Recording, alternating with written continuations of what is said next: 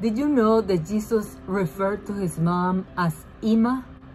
Ima in Hebrew means mom. Abba in Hebrew means dad. Even though Jesus' native language was Aramaic, he probably called his mom Ima and his dad Joseph Abba.